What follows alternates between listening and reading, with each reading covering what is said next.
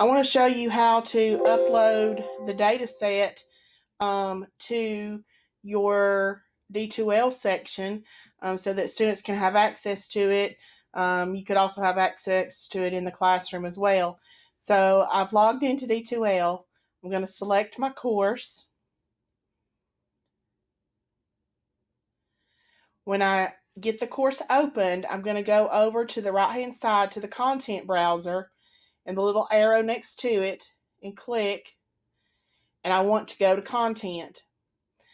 Now, honestly, you can put it wherever you'd like. If you want to put it under the Start Here folder or wherever, I'm going to go down to the very bottom on the right hand side, or excuse me, the left hand side, to where it says Add a Module. And so I'm going to click Add a Module and I'm going to call it data set.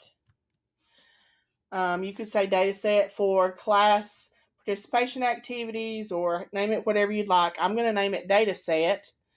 After I name it, I'm going to hit enter. Then that file comes up and I want to upload. Okay, so hopefully at that point you have saved the Excel spreadsheet somewhere um, in your system or on your computer. So I'm going to tell it to upload.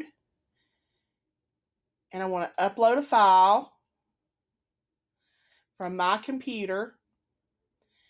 I want to upload and I've got to choose the file. I have it named class survey results with GPA. So I'm going to choose it.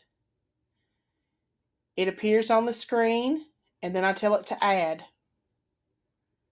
And there's my Excel spreadsheet within D2L. Okay, I need to do it for a second course, so I'm going to do it again for you. Okay, so I'm in D2L. I choose the course that I need. Okay. I go over to content. I think I chose the right course. Yes, I go over to content, browser, Click on the down arrow, drop down box, choose go to content.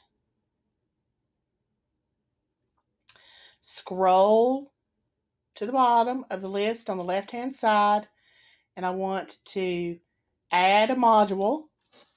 I'm naming it data set. Okay. Enter. That particular module appears. I then need to upload the Excel spreadsheet. So I'm going to upload, upload the files from my computer. Find where you have it saved, select it, and then add.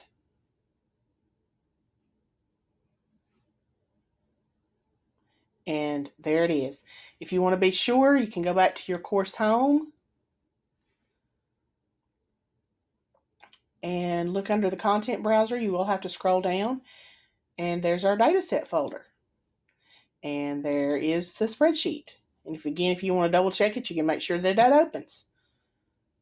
And it does. There you go.